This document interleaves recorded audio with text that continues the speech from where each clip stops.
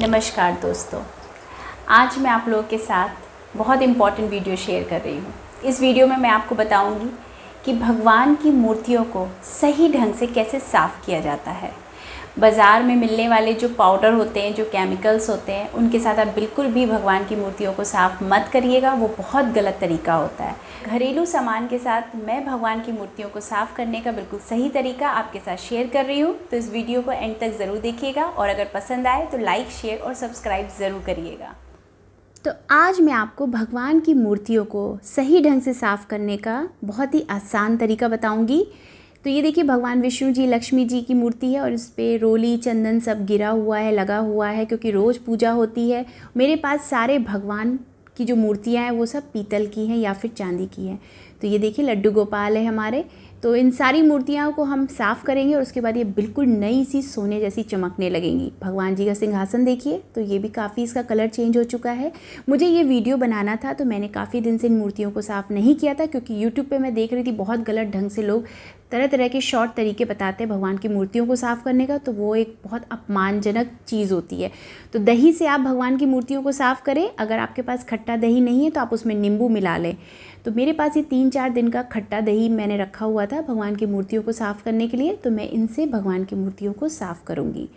तो देखिए, मैं सबसे पहले अपने लड्डू गोपाल को साफ़ करूँगी। तो भगवान की मूर्तियों को आप बिल्कुल वैसे ही साफ़ करें, बहुत ही प्रेम भाव से, जैसे आप अपने बच्चे को स्नान कराते हैं।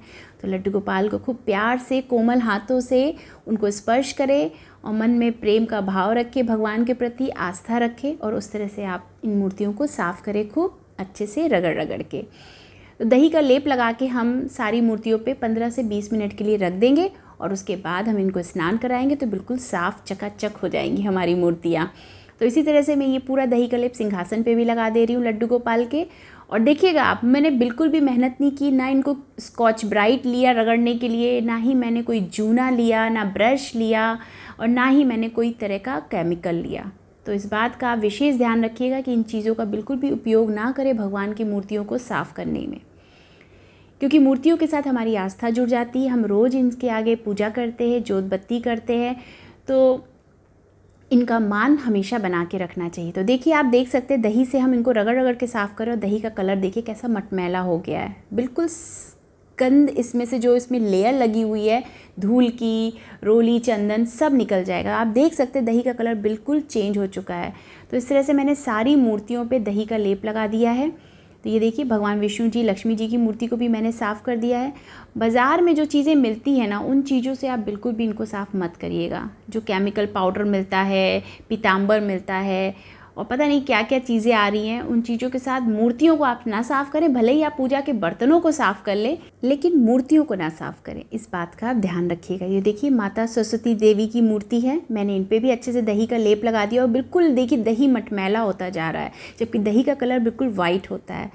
तो ये बहुत ही सही और ऑथेंटिक तरीका मैं आपके साथ शेयर कर रही हूँ, क्योंकि मेरी भगवान के प्रति बहुत आस्था है और मैं बहुत गलत वीडियो देखती हूँ तो मुझे बहुत कष्ट होता है कि इस तरह की वीडियोस नहीं बनाने चाहिए। तो हमारे यहाँ प्राचीन समय में भी मूर्तियों को इसी तरह से साफ़ किया जाता था। दही, शक्कर, शहद, इन सारी चीज़ों के साथ मंदिरों में भी देखिए इसी तरह से मूर्तियों को साफ़ किया जाता है। तो अब हमने इनको 20 मिनट के लिए छोड़ दिया ऐसे दही का लेप लगा के। और अगर आपने मेरे चैनल को सब्सक्राइब नहीं किया तो प्लीज़ सब्सक्राइब करें और बेल आइकन को प्रेस करेंगे तो मेरे नोटिफिकेशंस आपको सबसे पहले मिलेंगे।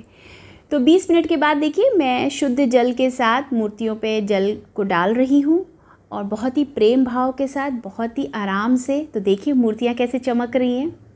तो ये बिल्कुल सही तरीका, देखिए सोने की तरह मूर्ति चमकने लग गई है। ये देखिए, हमारी सरस्वती माता बिल्कुल साफ़ हो गई हैं और जो इसका जो जल गिर रहा है, उसको आप गमलों में डाल दें। इसको आप सिंक में मत डालिएगा। इसी तरह से हम अपने लड्डू गोपाल को भी स्नान करा देंगे। तो ये देखिए, चमक गई ना मूर्तियाँ। ये देखिए, पहले के लड्डू गोपाल में और इसमें कितना फ़र्क है, आप देख सकते हैं। बिल्कुल सोने की तरह हमारे लड्डू गोपाल चमक रहे हैं। तो सेम इसी तरह से बस सादे पानी से हम सारे भगवान को अब स्नान करा देंगे और सब मूर्तियाँ हमारी चकाचक चमक जाएँगी। तो है ना, ये बहुत आसान तरीका। देखिए राधा कृष्ण कितने अच्छे से साफ़ हो गए, बिल्कुल कलर चेंज हो गया है और ये बिल्कुल नई सी लगने लग गई हैं।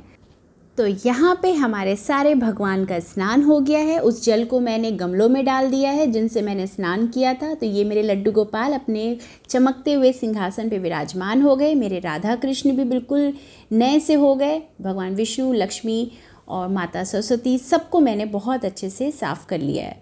तो आप लोगों को ये वीडियो कैसा लगा? तो ज़रूर मुझे कमेंट करके बताइएगा और अपने घर की मूर्तियों को प्लीज़ प्लीज़ प्लीज़ बाहर के केमिकल से बिल्कुल भी मत साफ़ करिएगा, वो बहुत गलत तरीका है। तो अगर आपको मेरा ये वीडियो पसंद आया हो, मेरी कोशिश पसंद आई हो तो प्लीज़ लाइक शेयर और सब्सक्राइब ज़रूर करिएगा। इस वीडियो को ज़्यादा से ज़्यादा लोगों के साथ ज़रूर शेयर करिएगा, क्योंकि ये बहुत सही नॉलेज मैंने आप लोग को दी है कि भगवान की मूर्तियों को सही तरीके से कैसे साफ़ करते हैं। तो अपना ख्याल रखिए, भगवान की मूर्तियों को खूब साफ़ सुथरा चमका के अपने मंदिर की शोभा बढ़ाइए। और ये देखिए, मैंने पूजा के बर्तनों को भी साफ़ करने का एक वीडियो बनाया है तो उसको भी ज़रूर देखिएगा।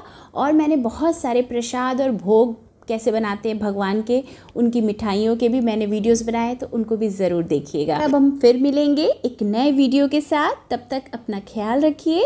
जय श्री कृष्णा।